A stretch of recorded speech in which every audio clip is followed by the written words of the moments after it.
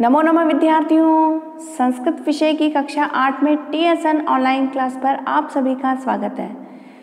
विद्यार्थियों previous video में हमने रुचिरा तृतीय भाग है, जो आप लोगों की संस्कृत विषय की पाठ्य पुस्तक है, बच्चों, उसका जो चैप्टर फिफ्टीन है प्रहेलिका शीर्षक से, इस पाठ के जो अभ्यास प्रश्न है, उनमें से हमने प्रश्न संख्या एक, श्लोकांशेषु रिक्त स्थानानी पूरियत इस प्रश्न पर चर्चा की, साथ ही में प्रश्न संख्या दो जो क्रॉस मैच का क्वेश्चन था श्लोक के अंशों को जोड़ना था, उस पर चर्चा की। साथ ही में प्रश्न संख्या तीन जो ट्रू फॉल्स वाला क्वेश्चन था यस टाइप का, उस पर हमने चर्चा की बच्चों, और आज की कक्षा में हम प्रश्न संख्या चार से कंटिन्यू करेंगे ओके तो शुरू करते हैं बच्चों स्टार्ट करते हैं। संधि, प्रश्न संख्या चार क्वेश्चन नंबर फोर्थ है संधि विच्छेदम पूरियत। यानी कि जो वर्ड्स दिए गए हैं, उनको हमें फिलअप्स में उसका संधि विच्छेद करके फिल करना है। तो पहला प्रश्न दिया गया है इसका, प्रश्न संख्या चार का का है। करिणाम कुलम करिणाम कुलम। ठीक है तो संधि विच्छेद इसका क्या होगा? करिणाम प्लस कुलम हम फिल कर देंगे। नेक्स्ट देखते हैं। को अभूत, ये अवग्रह चिन्ह है बच्चों। ऐसे जैसा चिन्ह, अवग्रह चिन्ह, अ से इसका उच्चारण होता है। ठीक है, और जब हम इसका संधि विच्छेद करेंगे तो क्या बनेगा? कह प्लस अभूत। कह प्लस अभूत, को भूत ठीक है नेक्स्ट है, अत्रेवोक्तम। अत्रेव, अत्रेवोक्तम। ठीक है ना तो संधि विच्छेद क्या बनेगा इसका? इसका संधि विच्छेद बनेगा बच्चों, अत्र प्लस एव प्लस उक्तम। ओके? अत्र प्लस एव प्लस उक्तम मिलकर के क्या बना? अत्रेवोक्तम। नेक्स्ट है, वृक्षाग्रवासी। वृक्षाग्रवासी। तो क्या बनेगा इसका संधि विच्छेद वृक्ष प्लस अग्रवासी। मिलकर के क्या बना? वृक्षाग्रवासी। नेक्स्ट है बच्चों त्वग वस्त्रधारी त्वग वस्त्रधारी त्वक प्लस वस्त्रधारी। त्वक प्लस वस्त्रधारी, इसका संधि विच्छेद होगा। ठीक है? नेक्स्ट है बच्चों, अंतिम प्रश्न संख्या चार का। विभ्रन। अंतिम है विभ्रन। तो इसका संधि विच्छेद क्या बनेगा? विभ्रत प्लस न, विभ्रत प्लस न, ओके? प्रश्न संख्या चार, जो संधि विच्छेद वाला है, वो हमने समझ लिया बच्चों, आप लोगों ने आशा करती हूँ समझ में आया होगा। प्रश्न संख्या पाँच क्वेश्चन फाइव है बच्चों। अधोलिखितानाम पदानाम लिंगम विभक्तिम वचनंच लिखत। अधोलिखितानाम पदानाम यानी कि नीचे जो वर्ड्स दिए गए हैं, पद दिए गए हैं बच्चों, उनमें कौन सा लिंग है, कौन सी विभक्ति और कौन सा वचन है, वो हमें लिखना है। ओके? यथा करके जो एग्ज़ाम्पल दिया गया है बच्चों, पहले उस पर चर्चा कर लेते हैं। पहले यथा करके एग्ज़ाम्पल है। जैसे करिणाम करिणाम पद है, ओके? करिणाम पद में जो वो क्या करिणाम जो पद है, उसमें हमें क्या क्या बताना है? यहाँ लिखा है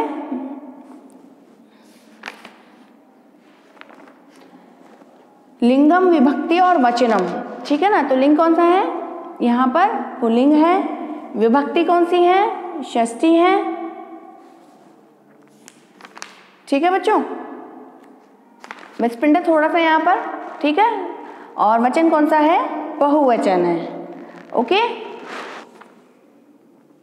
तो जो परिणाम पद है, उसमें विभक्ति कौन सी है? षष्ठी लिंग कौन सा है? पुल्लिंग और वचन कौन सा है? बहुवचन। ओके नेक्स्ट देखते हैं हम कस्तूरी। कस्तूरी पद में क्या क्या है? कस्तूरी पद में है स्त्रीलिंग। तो स्त्रीलिंगम लिख देंगे हम। विभक्ति कौन सी है? प्रथमा और वचन कौन सा है? एक वचन। एक वचन हम लिखेंगे इस तरह से। नेक्स्ट है युद्धे। युद्धे पद में हमें सबसे पहले बताना है लिंग। कौन सा जेंडर है? पुल्लिंग है। ठीक है ना? तो पुल्लिंग हम लिखेंगे। विभक्ति कौन सी है? सप्तमी। और वचन कौन सा है? एक वचन है तो हम लिख देंगे एक वचनम। नेक्स्ट है सीमंत नीशु सीमंत नीशु इसमें जो ये स्त्रीलिंग का पद है बच्चों तो क्या लिखेंगे हम? स्त्रीलिंगम। विभक्ति कौन सी है? सप्तमी। और वचन कौन सा है? बहुवचन है तो लिख देंगे हम बहुवचनम। ओके नेक्स्ट है बलवंतम। बलवंतम। बलवंतम में क्या है बच्चों? बलवंतम बलवंतम में है। कौन क्या क्या पूछा है बलवंतम में हमें? लिंग पूछा है। कौन सा लिंगम है? स्त्रीलिंगम। नेक्स्ट है, द्वितीय विभक्ति और वचन कौन सा है? एक वचनम। ठीक है? सॉरी बच्चों। नपुसक लिंगम आ जाएगा बलवंतम में। ओके नेक्स्ट है शूल पाणी शूल पाणी शूल पाणी में कौन सा लिंग है इसमें? जेंडर कौन सा है? पुल्लिंग है तो लिखेंगे हम पुल्लिंगम। विभक्ति कौन सी है? प्रथमा विभक्ति है। और वचन कौन सा है? एक वचन है तो लिखेंगे हम एक वचनम। नेक्स्ट है, शक्रस्य। शक्रस्य वर्ड में शक्र, शक्रस्य किसका है ये? पुलिंग का है तो पुलिंगम विभक्ति कौन सी है? षष्ठी। और वचन कौन सा है? एक वचनम ओके? तो प्रश्न संख्या पाँच में हमने सभी पदों का लिंग, विभक्ति और वचन जान लिया है बच्चों। नेक्स्ट प्रश्न संख्या छः पर चलते हैं। विलोम पदानी योजित जो विलोम पद है, उनको हमें जोड़ना है। क्रॉस मैच का क्वेश्चन है बच्चों। देखिए लेफ़्ट साइड में क्या लिखा है? जायते। वीर अशांता, मूर्खे, अत्रैव, आगच्छति। ठीक है? और राइट साइड में लिखा है, शांता, पलायते, म्रियते, कातर है विद्वत भी, तत्रैव। ठीक है?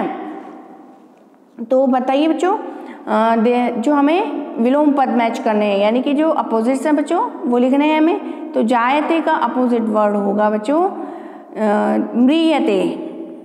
ठीक है ना? नेक्स्ट है, जायते में उत्पन्न होना म्रियते में नष्ट होना, मरना, मरने के अर्थ में, ठीक है ना? खत्म होने के अर्थ में, ठीक है? तो जायते का हुआ म्रियते, वीर है।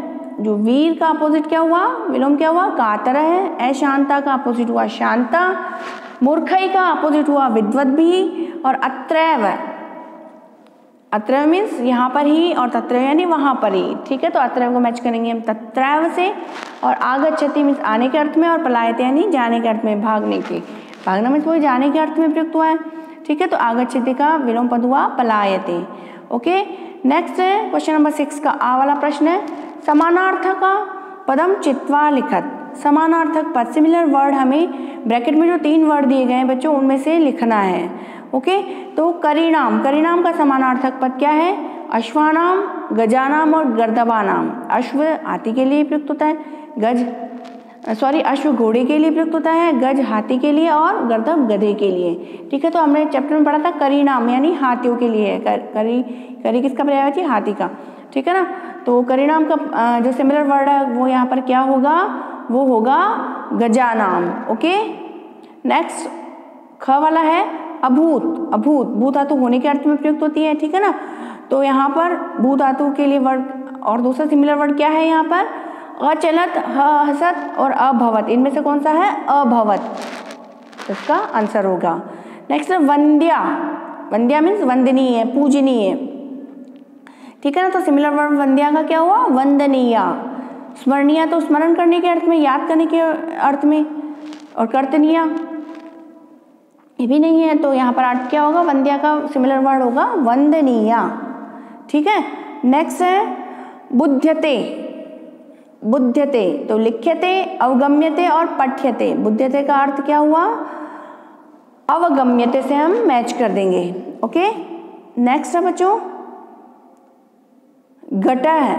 घटा का सिमिलर वर्ड क्या है यहाँ पर? तड़ागा यानी तालाब, नल है, जो नल को बोलते हैं टैप को। ठीक है? और कुंभ है। कुंभ है इसका सिमिलर वर्ड है। संजगान संजगान इसका सिमिलर वर्ड होगा अमारियत अखादत अपीबत। इसमें से कौन सा होगा? संजगान मारने के अर्थ में तो, तो अमारियत इसका सिमिलर वर्ड होगा। ओके बच्चों? नेक्स्ट प्रश्न संख्या सात अंतिम प्रश्न है इस पाठ का। ठीक है? कोष्ट कोष्टकांतर्गताम पदानाम उपयुक्त विभक्ति प्रयोग अनु, अनुच्छेदम पूरियत। जो कोष्टक में जो वर्ड दिए गए हैं बच्चों, उनको विभक्ति के अकॉर्डिंग हमको यूज़ करते हुए फिलप्स को फिल करना है। ये जो अनुच्छेद दिया गया है, पैराग्राफ दिया गया उसे हमें फिल करना है। तो बच्चों, इसमें जो पैराग्राफ है, इसमें एक तरह से एक कहानी है, जो हमने पहले भी आपने बचपन में सुनी होगी। प्यासे कौवे वाली कहानी जो है ठीक है ना? उसी से संदर्भित ये पैराग्राफ है बच्चों। ठीक है तो हम जैसे जैसे हिंदी अर्थ करेंगे, आपको रिकॉल भी हो जाएगी। एक काका खालिस्तान आकाश। तो आकाश का विभक्ति के अकॉर्डिंग यहाँ पर होगा, आकाशे डयमान आसित। यानी कि जो एक कौवा वो आकाश में उड़ रहा था त्रिशार्थ स खालिस्तान जल अन्वेषण करोती। तो जल का लिए विभक्ति के अकॉर्डिंग क्या आएगा यहाँ पे? जलस्य तो फिलअप में फिल करेंगे हम, जलस्य त्रिशार्थ स जलस्य अन्वेषण करोती। यानी कि प्यास होने के कारण उसने जल को खोज किया, यानी कि जल को ढूंढा। तदा सह खालिस्तान घट लिखा है। तो घट की जगह पर घट विभक्ति के अकॉर्डिंग क्या फिल होगा यहाँ पे? घटे।